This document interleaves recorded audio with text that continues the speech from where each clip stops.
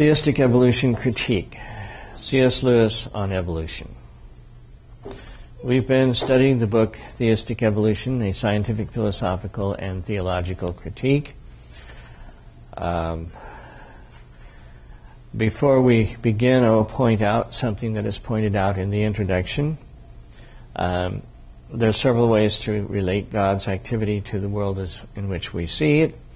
Uh, some of them that are listed are young life creationism of various stripes.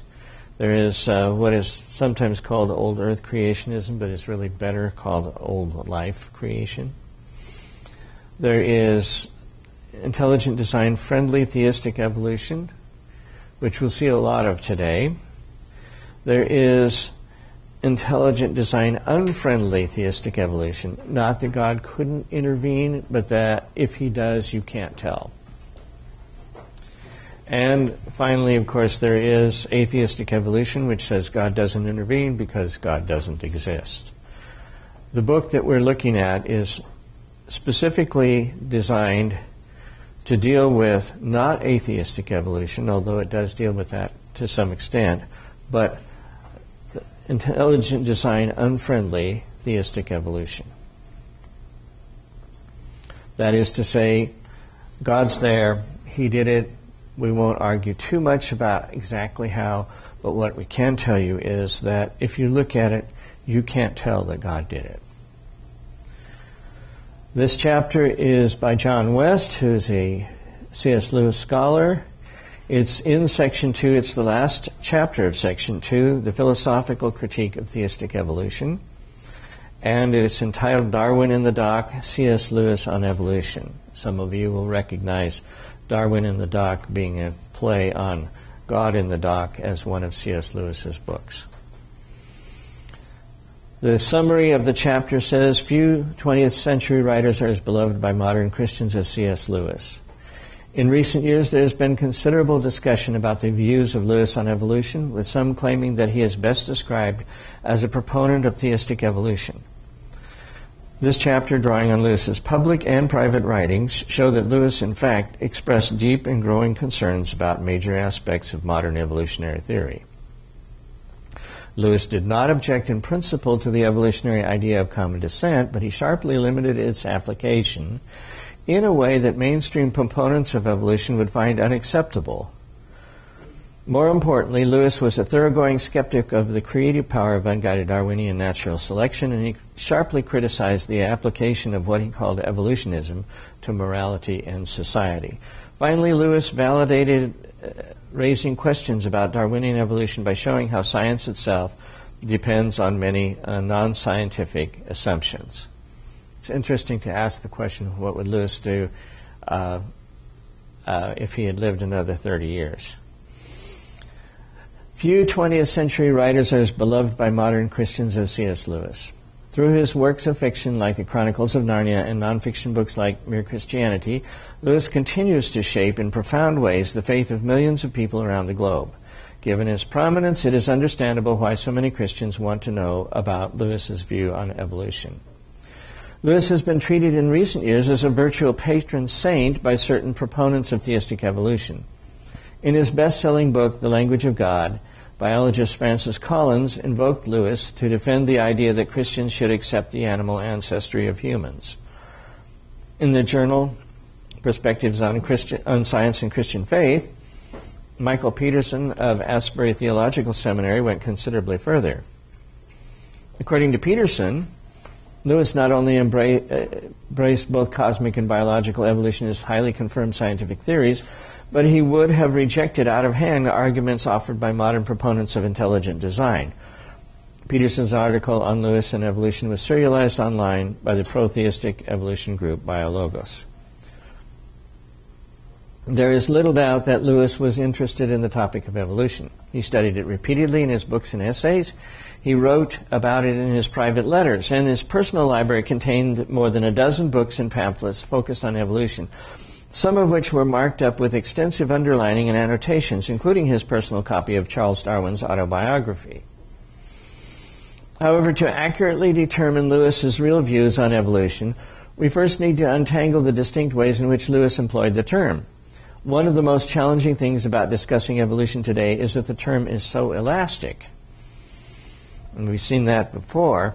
Lewis addressed at least three different kinds of evolution in his writing evolution as a theory of common descent, evolution as a theory of unguided natural selection acting on random variations, otherwise known as Darwinism, and evolution as a cosmic philosophy, or evolutionism. Lewis did not object in principle to evolution in the first sense, common descent, although he sharply limited its application in a way that mainstream proponents of evolution would find unacceptable. The case for Lewis as a supporter of evolution in the second sense, Darwinism, is almost non existent. Lewis was a thoroughgoing skeptic of the creative power of unguided natural selection. As for evolution in the third sense, evolutionism, Lewis respected the poetry and grandeur of what he sometimes called the myth of evolution, but he certainly regarded it as untrue. Lewis's limited acceptance of common descent. Common descent is the claim that all organisms currently living have descended from one or a few original ancestors through a process Darwin called descent with modification. According to this idea, not only humans and apes share an ancestor, but so do humans, clams, and fungi, and oak trees. Lewis clearly believed that Christians can accept evolution as common descent without doing violence to their faith. This is what Lewis was getting at when he wrote to evolution critic Bernard Acworth I believe that Christianity can still be believed even if evolution is true. We'll read that uh, a little more extensively later. In Lewis's view, whether God used common descent to create the first human beings was irrelevant to the truth of Christianity. As he wrote to one correspondent later in his life, I don't mind whether God man, made man out of earth or whether earth merely means previous millennia of ancestral organisms. If the fossils make it prob- probable that man's physical ancestors evolved, no matter. In the problem of pain, Lewis even offers a possible evolutionary account of the development of human beings, although he makes clear he is offering speculation, not history. If it is legitimate to guess, he writes, I offer the following picture a myth in the Socratic sense, which he decides, defines as a not unlikely tale or an account of what may have been the historical fact. Uh, the emphasis there is in the original. Lewis then suggests that for long centuries God perfected the animal form, which was to become the vehicle of humanity in the image of himself. The creature may have existed for ages before it became man. Nonetheless, Lewis did not go out of his way to champion the abnormal ancestry of humans. When pressed on the subject by evolution critic Bernard Acworth in the 1940s, Lewis backpedaled, replying that his belief that men in general have immortal and rational souls does not oblige or qualify me to hold a theory of their pre human organic history if they have one, saying they may not have. A few years later, Lewis relished the exposure of Piltdown Man as a hoax. Originally touted as evidence for the long sought missing link between apes and humans, the Piltdown Man skull was discovered in the 1950s to be a fake. We'll read that letter in, uh, later on. Lewis wrote to Bernard Acworth that although he didn't think the scandal should be exploited, quote, I can't help sharing a sort of glee with you about the explosion of poor old Piltdown. One inevitably feels what fun it would be if this were only the beginning of a landslide. Whatever Lewis's final position on the animal ancestry of the human race, it would be wrong to conclude that his acceptance of some kind of human evolution placed him in the camp of mainstream evolutionary biology or even a mainstream theistic evolution. In fact, Lewis insisted on three huge exceptions to evolutionary explanations of humanity that placed him well outside evolutionary orthodoxy, both then and now historic fall, Lewis's first exception to human evolution was his insistence on an actual fall of mankind from an original state of innocence. In Christian theology, God originally created human beings morally innocent. Those first humans then freely rejected God's will for them, resulting in a fall from innocence and harmony into the sinful condition of the human race as we currently find it. According to historic Christian teaching, not only human beings, but the entire creation was tainted by man's initial act of wrongdoing. It was to reverse the impact of the fall that God became incarnate to save us from our sins. Thus, the fall provides the necessary backstory for Jesus Christ and his death on the cross. Leading theistic evolutionists, no less than secular evolutionists, insist that a historic fall is incompatible with mainstream evolutionary theory. In the words of Episcopalian Bishop John Shelby Spong, Darwin destroyed the primary myth by which we had told the Jesus story for centuries. Post Darwin, there was no perfect human life, which then corrupted itself and fell into sin. And so the story of Jesus who comes to rescue us from the fall becomes a nonsensical story. Now, Spong is well known for his theological liberalism, but even in evangelical Christians, we have, for example, Karl Giberson in Saving Darwin, including a section titled Dissolving the Fall. Human beings were sinful from the very start because the evolutionary process is based on selfishness, which I would agree with. Evangelical Francis Collins wrote an enthusiastic foreword to Giberson's book. Lewis observed, on the other hand, that it was not yet obvious to him that all theories of evolution do contradict the fall, but he was emphatic that any evolutionary theory that does deny a real fall is unacceptable. I believe that man has fallen from the state of innocence in which he was created. I therefore disbelieve in any theory which contradicts this. Accordingly, Lewis was careful in the problem of pain to preserve a historical fall as part of his hypothetical account of human evolution. Indeed, he titled the chapter in which his evolutionary account appears The Fall of Man. And at the end of that chapter, he declares that the thesis of this chapter is simply that man as a species spoiled himself. Following traditional Christian teachings, Lewis emphasized that the first humans prior to the fall were morally good, had unimpeded fellowship with God, and lived in a paradise. Lewis had little patience for those evolutionists, theistic or otherwise, who asserted that modern science made it impossible to believe in man's original paradisal state and subsequent fall. At the heart of their assertions in Lewis's view was what he called the idolatry of artifacts the assumption that we can dis- discern the morality or intelligence of ancient people from their material products, and of course the material products that are left after thousands of years. Um, Lewis pointed out that pottery shards or spearheads might expose the primitive state of a prehistoric people's technology, but they do not reveal the state of the pe- people's morality or even their native intelligence. If Lewis dismissed the claims that science refuted the fall, he was equally skeptical of efforts to reinterpret the fall to make it part of evolutionary history. In the standard evolutionary picture, popularized by Darwin himself in The Descent of Man, human beings started out as brutes and gained morality and religion only after a long struggle for survival. Given this view of the development of human beings, it is hardly surprising that some theistic evolutionists have concluded that if there was a fall in evolutionary history, it must have been a fall upward into greater maturity and responsibility of the sort advocated by liberal theologians since Hegel and Kant. For example, contemporary Christian thinker Brian McLaren, and uh, won't bother to quote too much of that, McLaren does acknowledge that the ascent of man is marked by struggles with sin, but he seems to believe that human wrongdoing is a natural part of God's plan to bring about human maturity. Lewis spent much of his novel Perelandra in 1943 critiquing this kind of thinking, arguing that God intended for human beings to progress to self knowledge and maturity by obedience, not rebellion. Four years later, in his book Miracles in 1947, uh, Lewis ridiculed those who say that the story of the fall in Genesis, Genesis is not literal, and then go on to say, I have heard them myself, that it really was a fall upwards, which is like saying that because my heart is broken contains a metaphor, it therefore means I feel very cheerful. This mode of interpretation I regard, frankly, as nonsense.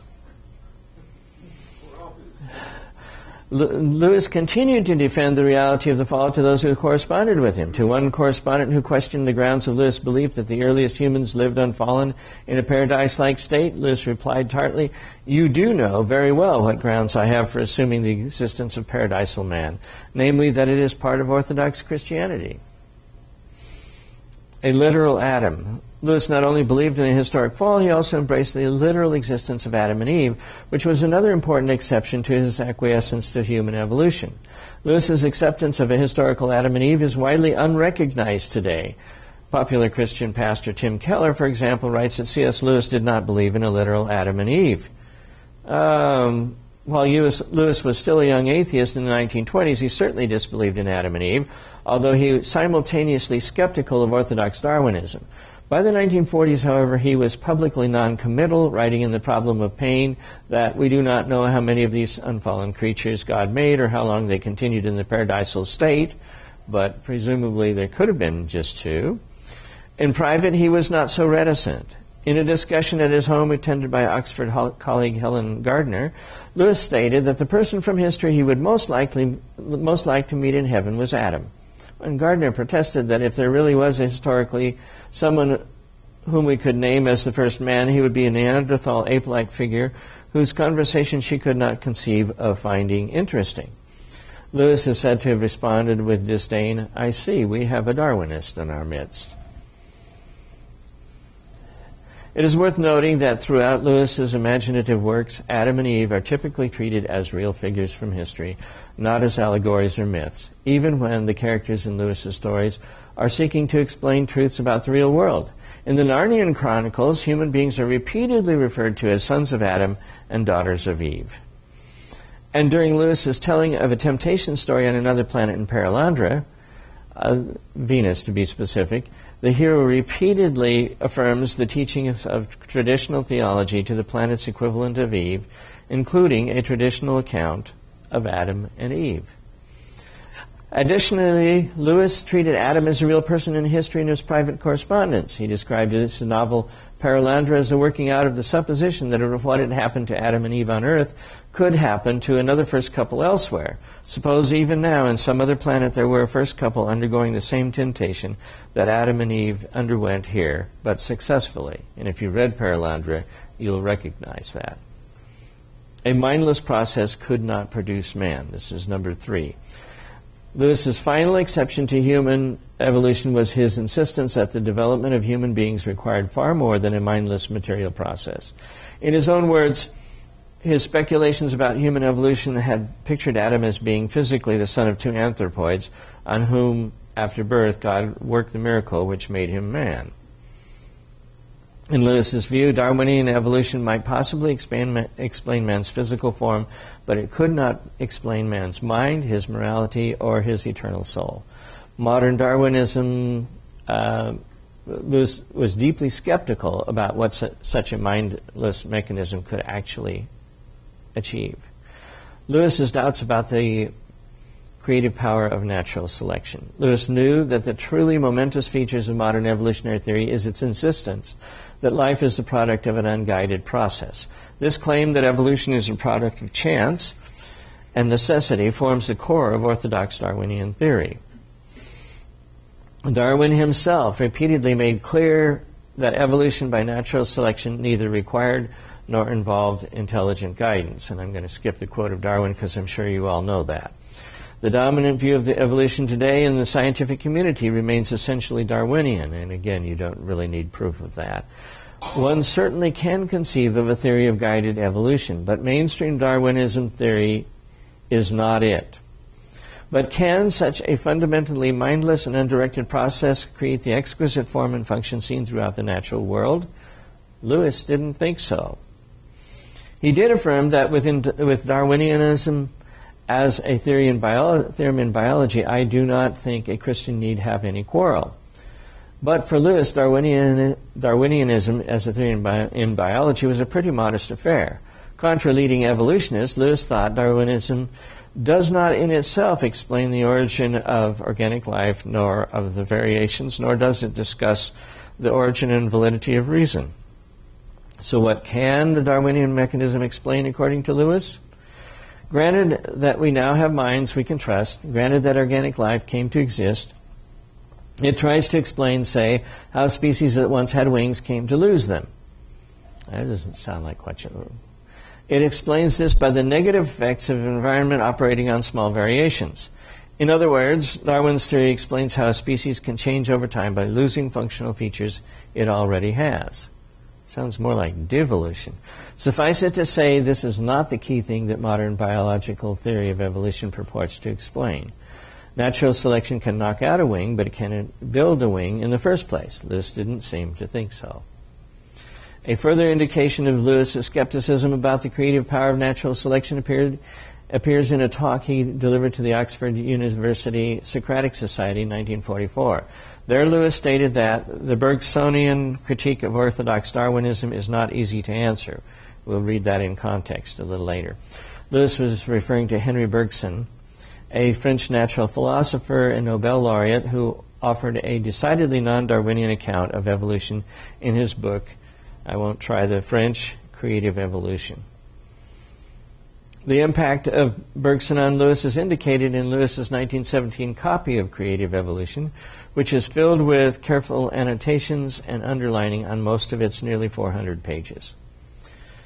Bergson was an unsparing critic of, creative of the creative power of Darwinian natural selection. Bergson stressed that Darwinism's reliance on accidental variations as a raw material for evolution made the development of highly coordinated and complex features found in biology nothing short of incredible shades of uh, uh, irreducible complexity, no? From the extensive annotations Lewis made in his personal copy of Creative Evolution, it is clear that he understood and appreciated Bergson's critique of natural selection. Lewis aptly summarized the Darwinian mechanism of adaptation, according to Bergson, as the elimination of the unfit, and noted that it plainly cannot account for complicated and similarities on divergent lines of evolution. Lewis also noted Bergson's view that pure Darwinism has to lean on a marvelous series of accidents and how Darwinists try to escape this truth by a bad metaphor. Lewis paid particular attention to Bergson's critique of Darwinian accounts of eye evolution in mollusks and vertebrates, concluding that natural selection fails to explain these eyes. Bergson's critique of natural selection likely paved the way for Lewis's doubts about Darwin and may have helped to explain a comment he wrote to his father in 1925, this is before his conversion, I think, that Darwin and Spencer stand themselves on a foundation of sand. Lewis's skepticism toward natural selection also drew inspiration from G.K. Chesterton's The Everlasting Man, in which, which Lewis read for the first time in the mid 1920s. Near the end of his life, Lewis placed The Everlasting Man on a list of 10 books that did the most to shape his vocational attitude and philosophy of life. In chapter 2 of The Everlasting Man, Professors and Prehistoric Men, Chesterton skewered the pretensions of anthropologists who spun detailed theories about the culture and capabilities of primitive man based on a few flints and bones, likely inspiring Lewis's discussion of the idolatry of artifacts, which we've heard before, in The Problem of Pain. Chesterton also provided in his book a full throttled um, argument as to why Darwinism cannot explain the higher capabilities of human beings. In Chesterton's words, man is not merely an evolution, but rather a revolution, whose rational faculties far outstrip those seen in the other animals. Chesterton's book prepared the ground for Lewis's own eventual critique of natural selection with regard to humans, as did a less known volume, Theism and Humanism, by Sir Arthur, Arthur Balfour. Best remembered today is the British Prime Minister who issued the Balfour Declaration saying that Jews needed a homeland in Palestine. Um, Balfour adapted theism and humanism from the Gifford lectures he had presented at the University of Glasgow in 1914. Balfour's goal was to show his audience that if we would maintain the value of our highest beliefs and emotions, we must find for them a congruous origin. Beauty must be more than an accident. The source of morality must be moral. The source of knowledge must be rational. Balfour thought that once this argument be granted, you rule out mechanism, you rule out naturalism, you rule out agnosticism, and a lofty form of theism becomes, as I think, inevitable. With regard to the human mind, Balfour argued that any effort to explain mind in terms of blind material causes was self refuting. All creeds which refuse to see an intelligent purpose behind the unthinking power uh, of material nature are intrinsically coherent, incoherent. In the order of causation, they base reason upon unreason. In the order of logic, they involve conclusions which discredit their own premises. Balfour offered a similar critique of materialistic accounts of human morality, which he thought destroyed morality by depicting it as a product of processes that are essentially non moral. Balfour took special aim throughout his book at Darwinian explanations of mind and morals. Balfour in Theism and Humanism. Uh, Lewis later included this book on the list of books that have influenced his philosophy of life the most, and its basic arguments are in prominent view in, miracle, in Lewis's Miracles, a preliminary study. As Paul Ford points out, the thesis and even the language of Balfour's first Gifford lectures permeates the first five chapters of Miracles. The revised 1960 edition of Miracles is generally recognized as presenting Lewis's most mature critique of the ability of naturalism or materialism to account for man's rational faculties. What is less noticed is the challenge Lewis's book raises for Darwinian evolution in particular. In the words of Lewis, naturalists argue that the type of mental behavior we now call rational thinking or inference must have evolved, must have been evolved by natural selection by the gradual weeding out of types less fitted to survive. Lewis flatly denied that such a Darwinian process could have produced human rationality. Natural selection could operate only by limiting responses that were biologically hurtful and multiplying those which tended to survival but it is not conceivable that any improvement of responses could ever turn them into acts of insight or even remotely tend to do so. This is because the relationship, the relation between response and uh, stimulus is utterly different from that between knowledge and the truth known. Natural selection could improve our responses to stimuli from the standpoint of physical survival without ever turning them into reasoned responses. Following Balfour, Lewis went on to argue that attributing to the development of human reasoning non to a non rational process like natural selection ends up undermining our confidence in reason itself. After all, if reason is merely an unintended byproduct of fundamentally non rational processes, what ground do we have left for regarding its conclusions as objectively true? And you will notice echoes of Balfour in that argument. Skipping over a bunch, the preliminary process within nature which led to the human mind, if there were any, and there may not have been, were designed to do so. In short, if an evolutionary process did produce the human mind, it was not Darwinian evolution, it was evolution by intelligent design. At least that's West's opinion, and I think I would have to agree with him. Just as Lewis in Miracles rejected a Darwinian explanation for the human mind because it undermined the validity of reason, he rejected a Darwinian account of morality because it would undermine the authority of morality by attributing it to an essentially amoral process of survival of the fittest. As a practical matter, Lewis questioned whether Darwinism could actually explain the development of key human moral traits such as friendship or romantic love. But in Miracles, he made a more fundamental point. A Darwinian process may or may not explain why men do in fact make moral judgments. It does not explain how they could be right in making them. It excludes, indeed, the very possibility of their being right. According to Lewis, by attributing our moral beliefs and practices completely to mindless and non moral causes, Darwinists undermine the belief that moral standards are something objectively true, or even the belief that some moral beliefs are objectively preferable over others. After all, if human behaviors and beliefs are ultimately the products of natural selection, then all such behaviors and beliefs must be equally preferable. The same Darwinian processes that produce the in, maternal instinct also produces infanticide. The same Darwinian process that generates love also brings forth sadism. Hence, the logical result of a Darwinian account of morality is not so much immorality as relativism, or you might say amorality. According to Lewis, the person who offers such an account of morality should honestly admit that there is no such thing as right, wrong, and right. No moral judgments can be true or correct, and consequently, no one system of morality can be better or worse than another. And I suppose that would include Nazi morality. This shows why it would be so misleading to classify Lewis is a theistic evolutionist, at least according to how that term is typically used today. Theistic evolution can mean many things, including a form of guided evolution, but many contemporary proponents of theistic evolution are more accurately described as theistic Darwinists. That is, they do not merely advocate a guided form of common descent, but they are attempting to combine evolution as an undirected Darwinian process with Christian theism although they believe in God, they strenuously want to avoid stating that God actually guided biological development, and there's some examples that are listed. In short, many modern theistic evolutionists want to ma- retain a belief in a creator without actually affirming the guidance of that creator in the history of life. Oh, and those are all my, I just missed turning them green. Those are all my ellipses. Um, Lewis was familiar with attempts in his own day to imbue blind evolution with some sort of purposiveness while s- still denying the operation of guiding intelligence. In Mere Christianity, Lewis dissected this supposed third way between outright materialism and a history of life guided by design and found it wanting. People who hold this view say that the small variations by which life on this planet evolved from the lowest form to man were not due to chance, but to the striving or purposiveness of a life force.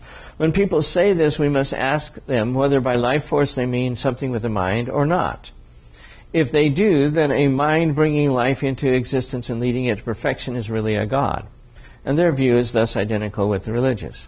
If they do not, then what is the sense in saying that something without a mind strives or has purposes? This seems to me fatal to their view. In his novel Perelandra, Lewis satirized the incoherence of the emergent evolution view, which he assigned to the villain of the story, Professor E.R. Weston, a scientist run mad. Lewis gave Weston a speech of non sequiturs and mumbo jumbo where he solemnly appealed to quote, the unconsciously purposive dynamism, end quote, and the majestic spectacle of this blind, inarticulate purposiveness thrusting its way ever upward in an endless unity of differentiated unity of differentiated achievements, whatever, towards an ever increasing complexity of organization, towards spontaneity and spirituality. Weston ultimately identified this blind and unconscious purposiveness with what he called the religious view of life and even with the Holy Spirit. The hero of the story, Dr. Elwin Ransom, was not impressed.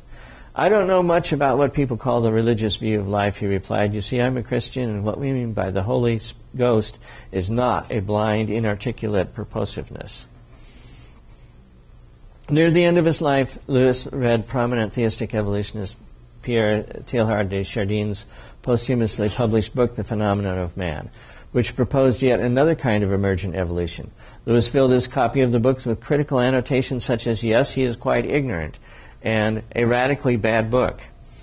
In letters to others, Lewis called uh, Teilhard de Chardin's book both commonplace and horrifying, and he derided Teilhard, uh, Teilhard de Chardin's position as pantheistic, pantheistic biolatrous waffle and evolution run mad. Skip over his other comments on Chardin because they're much the same. Lewis's criti- critique of evolutionism. In addition to limiting his acceptance of common descent and critiquing the power of unguided natural selection, Lewis throughout his life attacked what he called evolutionism, or the myth of evolution. This was evolution as a materialistic creation story that provided a competing narrative to traditional monotheism. Purporting to embody the discoveries of modern science, this myth teaches that the cosmos was preceded by the infinite void and matter endlessly, aimlessly moving to bring forth it knows not what. Then, by some tragic millionth, millionth chance, what tragic irony, the conditions at one point of space and time bubble up into that tiny fermentation which we call organic life. Against the hostility of nature and without purposeful direction or design, life spreads, it breeds, it complicates itself, from the amoeba up to the reptile, up to the mammal. Finally, there comes forth a little naked, shivering, cowering biped shuffling not yet fully erect, promising nothing, the product of another millionth millionth chance. His name in this myth is man. Eventually, he has become true man. He learns uh, to master nature. Science arises and dissipates the superstitions of his infancy. More and more, he becomes the controller of his own fate. Finally, mankind becomes a race of demigods with the assistance of Darwinian eugenics, psychoanalysis, and economics. Then the old enemy, nature, returns with a vengeance. The sun cools, and life is banished without hope of return from every cubic inch of infinite space. All ends in nothingness. I grew up believing this myth, and I have felt, I still feel, its almost perfect grandeur, observes Lewis rather wistfully. Let no one say we are an unimaginative race. Neither the Greeks nor the Norsemen ever invented a better story. For Lewis, the problem with this myth is not that it does not appeal to the imagination, but that is all it is all imagination and no logic. In fact, it contradicts the very foundation of the scientific worldview it claims to espouse. Skipping over a little bit, um, Lewis distinguished cosmic evolution from the science of evolution and he initially attributed it to the distortions of popularizers and journalists rather than scientists themselves. However, Lewis eventually came to better understand just how intertwined evolution as a scientific theory was with what he had called evolutionism. Much of his growing awareness was likely due to his 16 year correspondence with Bernard Acworth, a leader of Britain's evolution protest movement. Starting in the mid 1940s, Acworth began sending Lewis books and essays critical of Darwin's theory, material which Lewis read and retained for his private library. We'll see some of those letters. Soon after coming in contact with Acworth, Lewis drew attention to a comment made by evolutionary zoologist David Watson that seemed to expose the dogmatism driving the beliefs of prominent evolutionary scientists. Evolution, declared Watson, is accepted by zoologists not because it has been observed to occur or can be proved by uh, logically coherent evidence to be true, but because the only alternative, special creation, is clearly incredible. Lewis drew this quote from an article written by two of Acworth's colleagues in the evolutionary protest movement. Lewis found Watson's comment disquieting. Nevertheless, he still trusted that most biologists have a more robust belief in evolution than Professor Watson. Otherwise, it would mean that the sole ground for believing evolution is not empirical but metaphysical, the dogma of an amateur metaphys- metaphysician who finds special creation incredible. But I do not think it has really come to that. By 1951, Lewis was not so sure. Acworth sent him a lengthy manuscript critical of evolution, and Lewis wrote back that he had read nearly the whole of it. Acworth's manuscript hit home. I must confess it has shaken me, Lewis wrote. Not in my belief in evolution, which was of the vaguest and most intermittent kind, but in my belief that the question was wholly unimportant. Lewis added that the most telling point for him was the dogmatism of the evolutionary scientists cited by Acworth. What inclines me now to think, to think that you may be right in regarding it, that is, evolution, as the central and radical line, the whole web of falsehood that now governs our lives, is not so much your arguments against it as the fanatical and twisted attitudes of its defenders. Lewis had a sharply different view of, science, of what science should be like, and he made clear that knee jerk orthodoxy was not part of it. In Lewis's view, there was nothing anti science about questioning dogmatic claims made in the name of science. As he came to appreciate even more deeply in the final years of his life, the scientific ep- enterprise required, requires humility and an open mind in order to prosper. Lewis's most important legacy for the evolution debate. At the root of Lewis's willing to question evolutionary claims was a healthy skepticism of the scientific enterprise itself. Lewis respected modern science and he respected modern scientists, but unlike many contemporary champions of evolution, he did not embrace a simple minded view of natural science as fundamentally more authoritative or less prone to error than all other fields of human endeavor. One of the last books about science Lewis read before he died was The Open Society and Its Enemies by philosopher Karl Popper. Near the end of that book, Popper frankly admits the lack of objectivity to be found even in experimental science. Lewis underlined the passage. For even our experimental and observational experience does not consist of data. Rather, it consists of a web of guesses, of conjectures, expectations, hypotheses, with which there are interwoven accepted traditional scientific and unscientific lore and prejudice. There simply is no such thing as pure uh, experimental and observational experience, experience untainted, untainted by expectation and theory. Lewis's growing awareness of the human fallibility of science was expressed powerfully in his final book, The Discarded Image, in 1964. Published after his death, the book is ostensibly about the medieval worldview, but the nature of science is one of the underlying themes. Lewis argues in the book that scientific theories are supposals and should not be confused with facts. Properly speaking, scientific theories try to account for as many facts as possible with as few assumptions as possible. But according to Lewis, we must always recognize that such explanations can be wrong. In every age, it will be apparent to accurate thinkers that scientific theories being arrived at in the way I have described are never statements of fact. They can never be more than provisional, and they have to be abandoned if someone thinks of a supposal that can account for observed phenomena with still fewer assumptions, or if we discover new phenomena that the previous theory cannot account for at all. The truly radical part of Lewis's critique of modern science was still to come. In his epilogue to the discarded image, Lewis discussed at length the shift from medieval to the modern mo- model of biology. It soon becomes evident that he does not think empirical evidence drives scientific revolutions, at least not this one. Lewis declared that the Darwinian revolution in particular was certainly not brought about by the discovery of new facts. Lewis recalled that when he was young, he believed that Darwin discovered evolution and that the far more general, radical, and even cosmic developmentalism was a superstructure raised on the biological theorem. This view has been sufficiently disproved. What really happened, according to Lewis, was that the demand for a developing world, a demand obviously in harmony both with the revolutionary and the romantic temper, had developed first. And when it was full grown, the scientists went to work and discovered the evidence on which our belief in that sort of universe would now be held to rest. Lewis's view had momentous implications for how we view the reigning paradigms in science at any given time, including Darwinian evolution. We can no longer dismiss the change of models in science as a simple progress from error to truth, argued Lewis. No model is a catalog of ultimate realities, and none is a mere fantasy. But each reflects the prevalent psychology of an age almost as much as it reflects the state of that age's knowledge.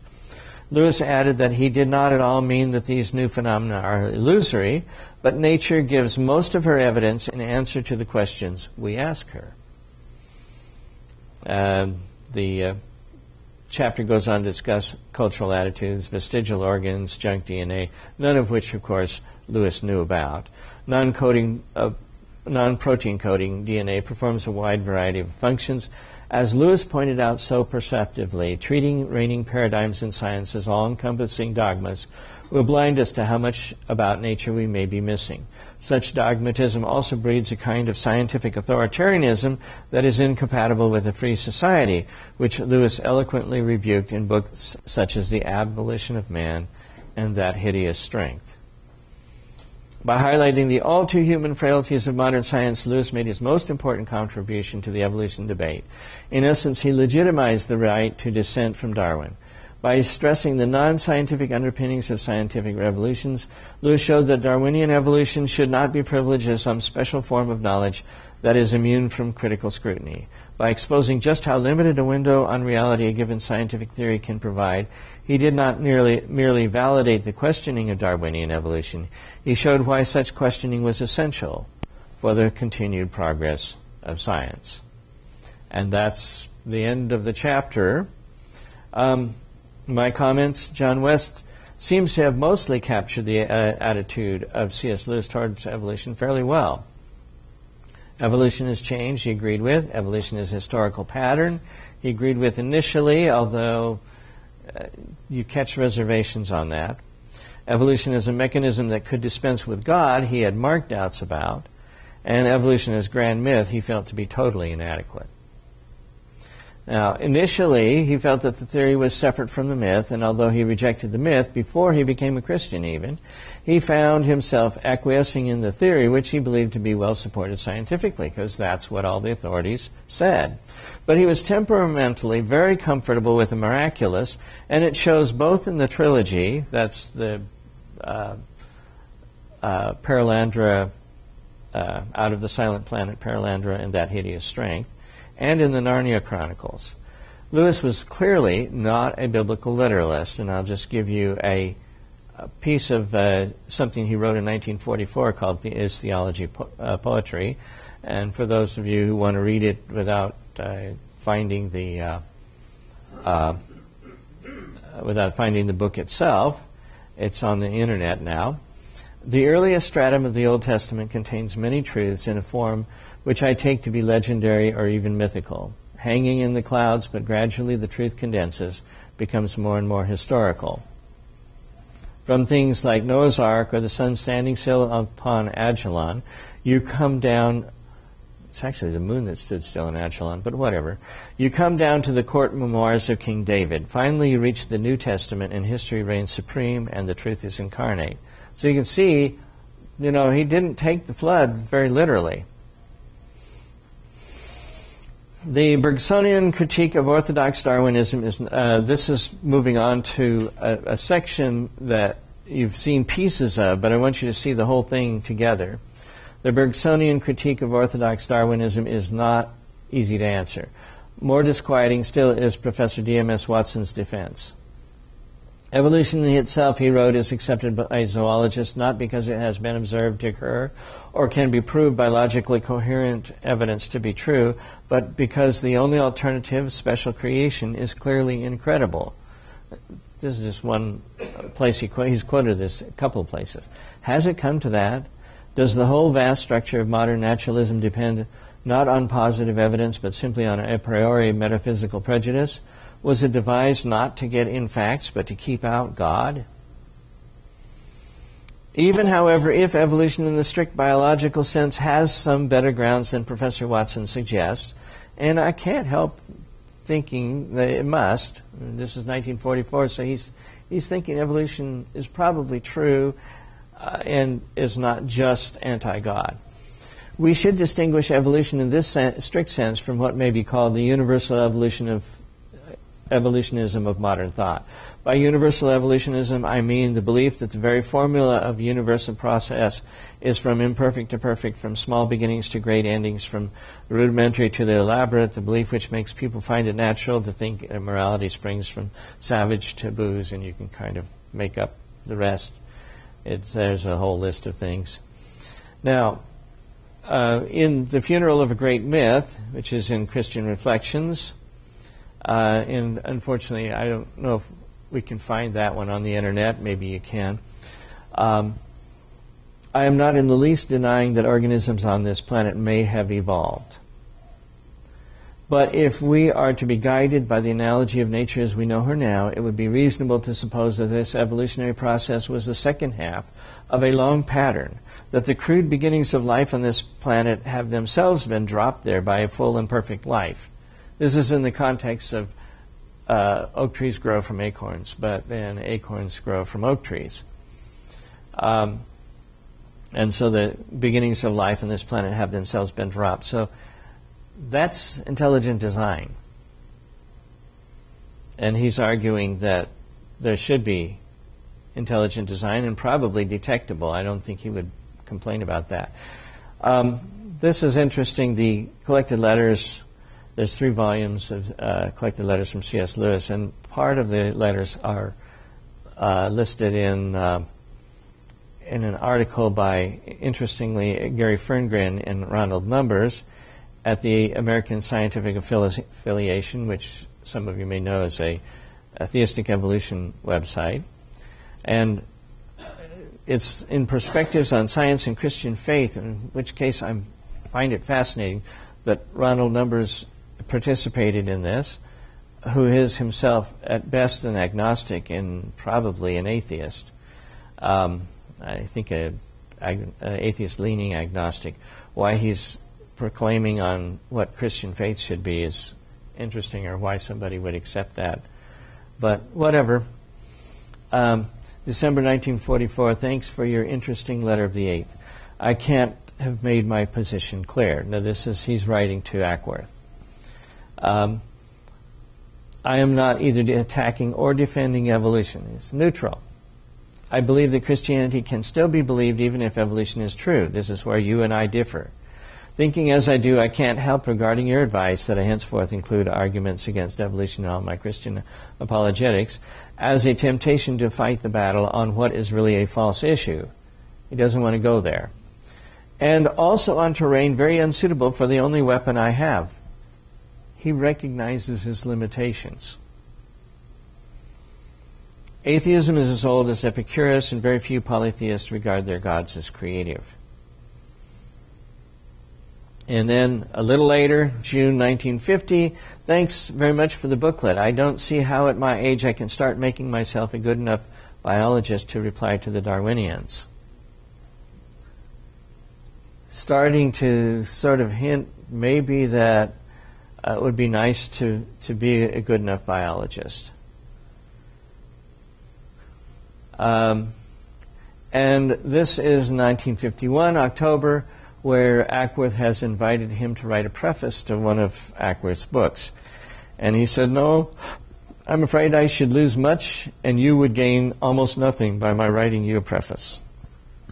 No one who is in doubt about your views of Darwin would be impressed by testimony from me, whom am known to be no scientist.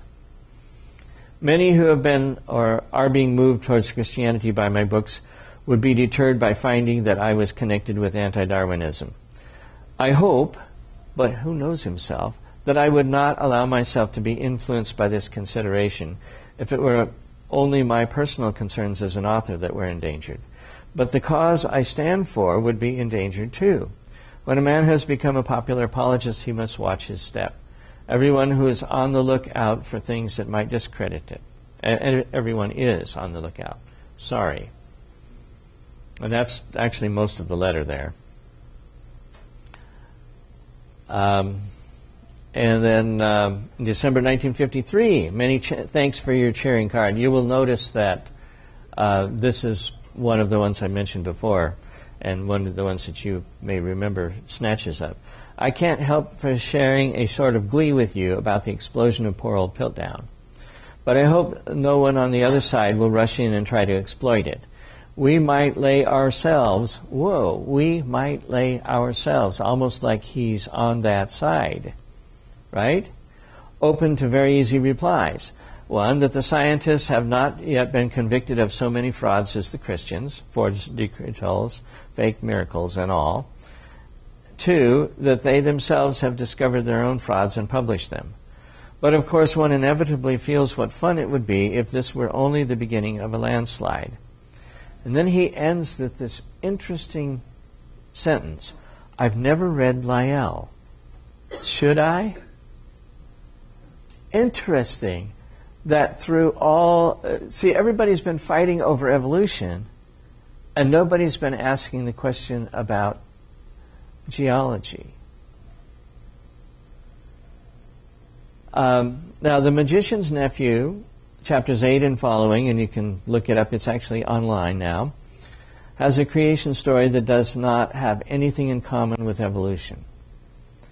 Diggory and Polly, the two main characters, young children, are transported into another world with his uncle, a witch, and a cabbie, and find the lion Aslan, who sings, and stars and the sun appear, as well as plants and animals, and a kind of tree of life is planted. Instead of seven days, it's, it's several hours. Um, the cabbie becomes the first king, and his, with his wife as the first queen, and they're the parents of all at least initially, all children that go in uh, into the uh, uh, into that world. It's a creation story. Lewis seems to be diametrically opposed to ID unfriendly theistic evolution in a few important aspects. One, they do not wish to contradict an account for life that denies miracles. He wrote a whole book defending miracles. That's a different outlook. He was skeptical of the power of unguided uh, evolution to produce new creative products. They are essentially not skeptical. Um, he believed firmly in the core of the Adam and Eve story and in the fall, and most of them do not. He believed firmly that our sense of morality and our intellect required design, and again, most of them do not. He believed that if evolution happened, it required intelligent seeding, if not flat out intelligent design. And again, most of them do not. Um, and to my mind, the most important difference between C.S. Lewis and, and uh, theistic evolutionists is that they are quite willing to team up with atheists and agnostics, and Ronald Numbers is just one example, uh, to criticize advocates of intelligent design. He was famously reluctant to criticize fellow Christians of any stripe. And his book, Mere Christianity, is supposed to be a uniting rather than dividing book. If one wants to see Lewis's reluctance on full display, uh, look at how he wrote against liberal theology, which he disagreed with. Clearly, in Modern Theology and Biblical Criticism, uh, that's an essay that was published in Christian Reflections and also published as Fern Seed and Elephants and uh, if you can stand the typos, because there's quite a few of them, at uh, orthodoxweb.tripod.com. So, how can uh, theistic evolutionists claim that C.S. Lewis was a theistic evolutionist? Well, one, he believed certainly early on that evolution as a scientific theory was not inco- incompatible with Christianity. That's kind of weak, but yeah. Two, he believes that Christians could believe in evolution as long as certain conditions, such as a paradise and a fall, were allowed. Um, and so, yeah, he's an evolutionist and it's theistic. The whole attempt, in my opinion, to enlist seems to me to be misguided. Okay? Lewis specifically disclaimed any expertise in the area under dispute. I'm not a biologist. Should I learn to become one? The only significant uh, support theistic evolutionists could get from Lewis legitimately is the idea that as fellow Christians we should not be figuratively shooting at them. And I understand that. However, but that implies they, that they should not be shooting at us either, unless they really don't want us as friends. But that's my opinion. Now it's your turn. Yes, uh, comment uh, checked out.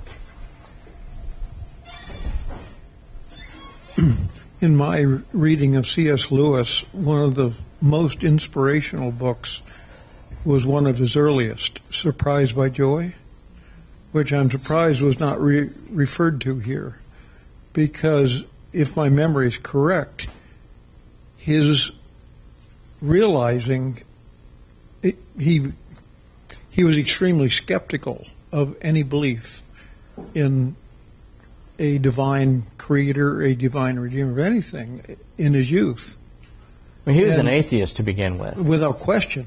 And one of the most positive books I've ever read, Surprised by Joy, is his statement of just when he he he personally came to the conclusion that there was every bit of a good reason to believe in a creator and a savior.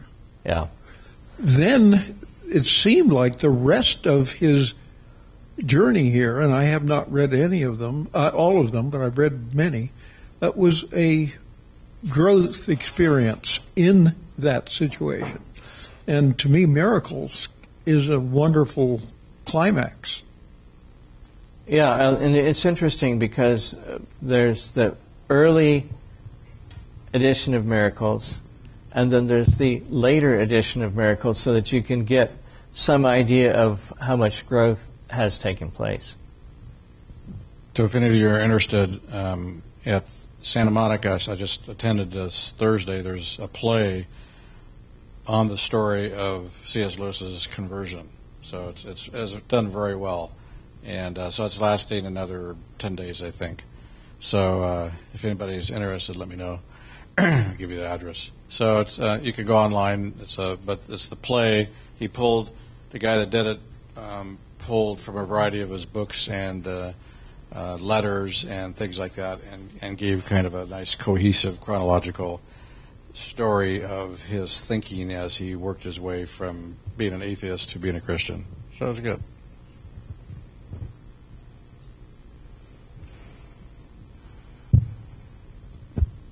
Um, during my student years, I um, went to a, through a period when I read just about every C.S. Lewis book I could get my hands on. Never once did I come away with the impression that it was uh, even suggesting anything evolutionary. I don't know why. I obviously must have missed it. Actually, I sympathize with you because uh, during a period of my life, I read virtually everything I could get my hands on, the C.S. Lewis.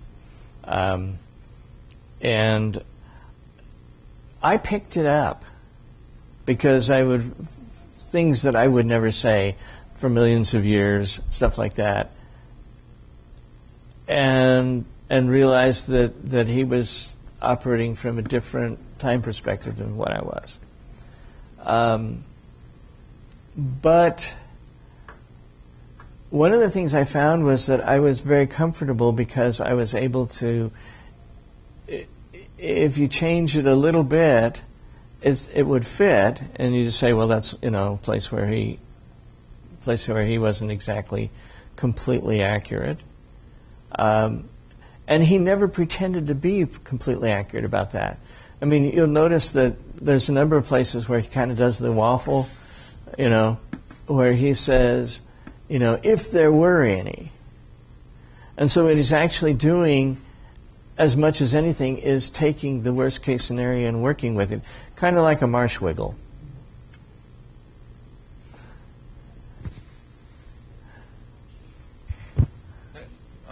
I sense the the challenge that every non-scientist has in trying to deal with this evolution chimera of sorts, um, which presents itself at the same time as absolutely authoritative and unchallengeable on one hand, and on the other hand, um, you don't have, and most people, even in science, do not have personal, deep, um, how do I say, experience dealing with these questions, so they basically defer to some other authority on the subject.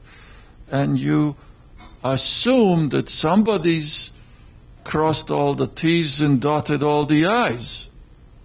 Uh, you you expect that, as with other uh, areas of science, this is equally uh, scrupulously, carefully done. And it is not obvious to someone not deeply involved in such questions mm-hmm. that there are serious reasons to doubt that. Well, I think that's one of the things that happened as Lewis went further and further. It became more and more obvious to him that maybe not all the ties have been uh, cro- uh, dotted and the T's crossed. That there was a whole bunch of stuff that people were just kind of assuming. And at that point, you will notice that he's still not going to write in a form that assumes creation because it would. It, I, and I think he rightly sensed that it would devastate his appeal to begin with. But he, starts to write in a, in a way which doesn't assume that evolution has been proved, and even in a way that, that kind of throws doubt on it. Um, I would love to have seen him live another 20 years and gotten a chance to read about Lyell as well.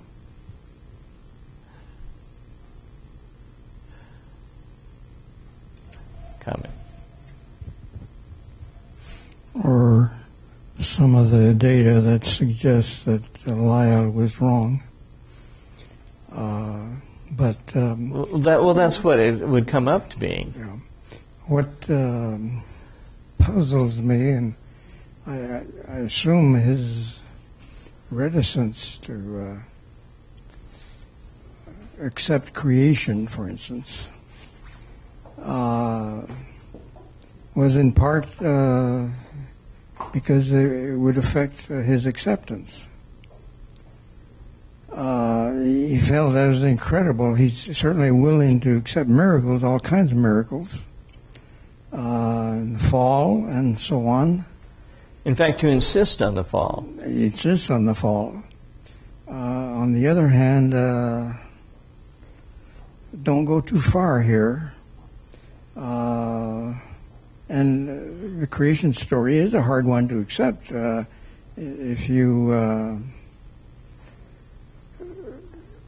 at least uh, follow popular opinion, mm-hmm. Uh, but uh, it's easier to accept it than then if you follow the scientific problems of the alternatives and but the, of course he uh, he didn't go down that route especially. But I, I am puzzled by. Uh, said I, I I assume it was done to to for to get acceptance. Why he accepts certain miracles and doesn't others. Well, you know, in a way, if you accept Uh, there, there, to me, to my mind, there, there are three really important questions theologically in that interface between science and religion. You know, number one, can you detect the activity of God? And in that case, I think that uh, intelligent design has that correct. And the best demonstration of that isn't evolution, actually. It's the origin of life.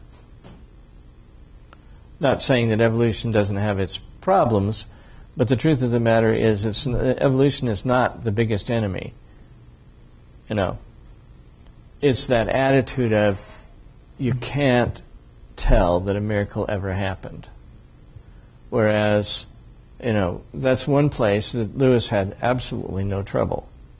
He was for miracles, and he was for obvious miracles, and for a very good theological reason, which we'll be getting to in the next few weeks.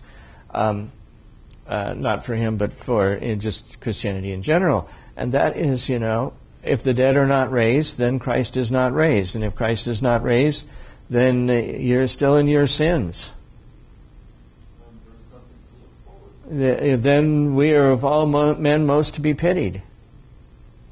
Um, I mean, that's the fact of the matter is that if you have, if you take the theistic evolution philosophy, which is to say, there are no gaps, and so therefore, if you think there's a gap, you're doomed to have it filled sooner or later by naturalistic processes. That if you take that position and start with life before uh, uh, before the major part of civilization, and then continue with that position all the way through civilization, when you get done, there is no resurrection, period. And at that point, there is no point to Christianity. That's just the way it is. And Lewis realized that, number one, that whole philosophy was bunkum. And number two, Christianity had a really good uh, evidential basis. And so he hit that philosophy at its core. And that's what makes C.S. Lewis, even though I disagree with him on a lot of things, um, that's what makes Lewis. Uh, I, I, I feel like I could be comfortable talking with Lewis and discussing our our agreements and our differences, and uh, whereas there are some people that that it would be a rather tense situation simply because they're not going to go in that direction. Comment on uh, Jack Stout. Well, uh, C.S. Lewis's strength, to me, uh, is his ability to write in a convincing manner that seems both reasonable and logical. As I as I look back to my following of him, although I don't think it's ever stated overtly, it seemed like the may I say crossing the Jordan happened when he rejected naturalism, mm-hmm. though it's not stated that way. Mm-hmm. And the rest is a series of experiences that followed that. Yeah. Once you go that far, it's obvious. That uh, was that was the big big step, and following that along, for me, has been extremely inspirational. Yeah, you know the interesting thing of it is that uh, I, I, I looked at a uh, video which portrayed Lewis's life and pointed out something that I had not really realized before. Lewis started out being an atheist. He switched to being a Christian over an extended period. And then he, as a new Christian, felt that he should do something useful.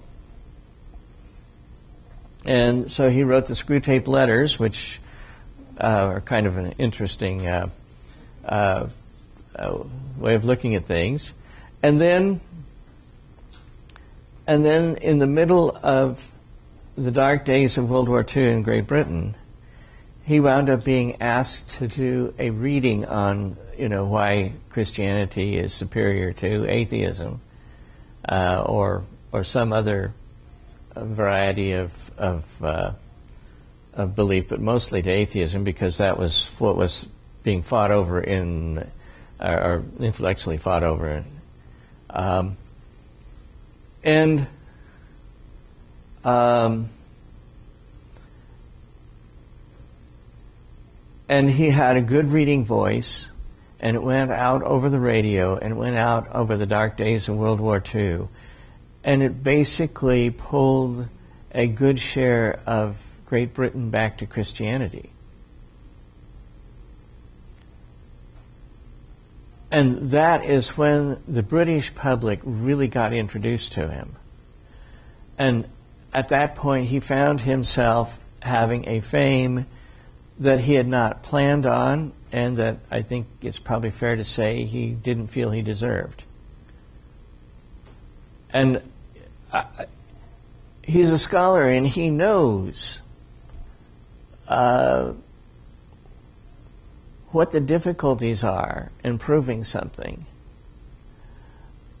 And so that's one of the things that you'll find is that, you know, he talks about the only instrument I have. Well, he was talking about his ability to see that logically you can't base something, you can't cut off the tree that you're sitting on.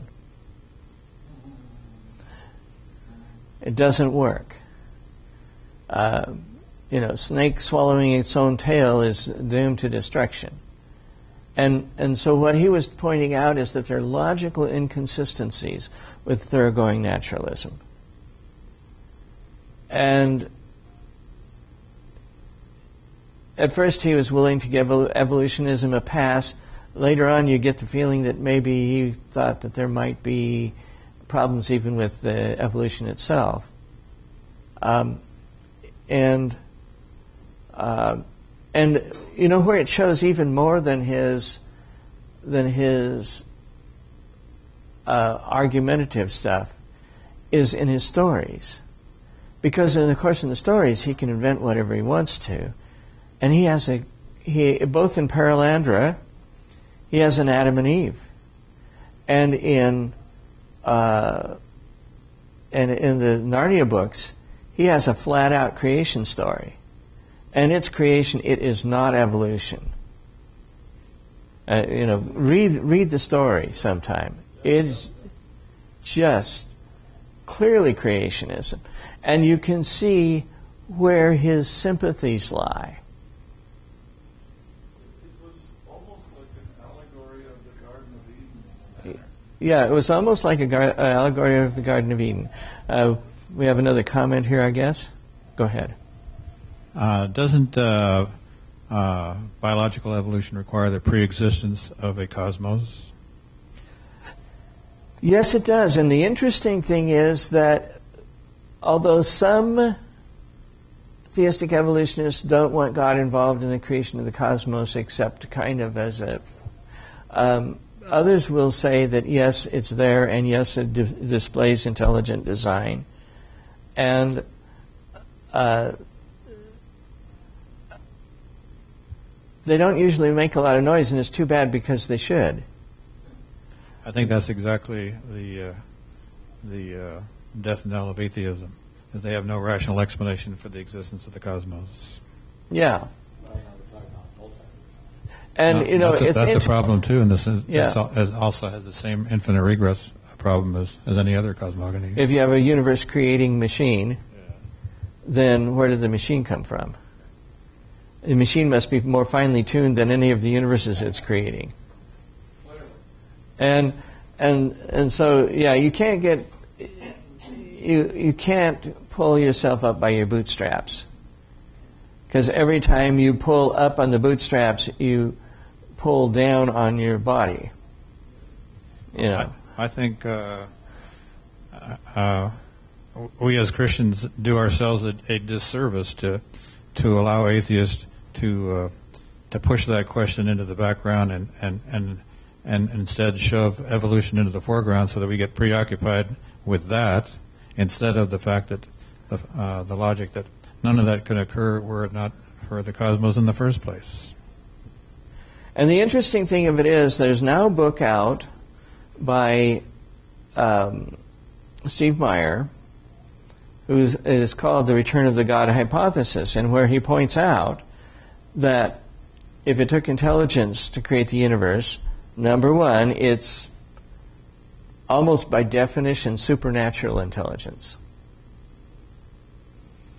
Um, because it comes before nature existed. Exactly.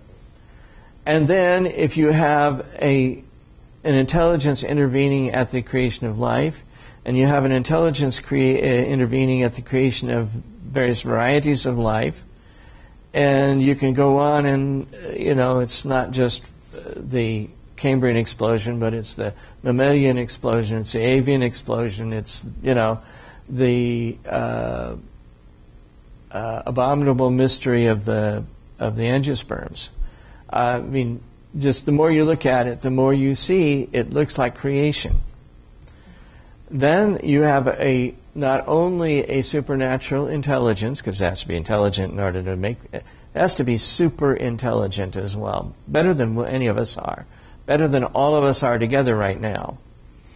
Um, but then it has to be injecting periodically, or maybe all at once, but certainly, uh, certainly at intervals at the bare minimum, um, you know, uh, information into detectable information into the cosmos that was once created. That is, God is not a watchmaker God. He didn't just create the cosmos and walk off and and leave it, or even walk off and sit in his, in his armchair and watch it develop.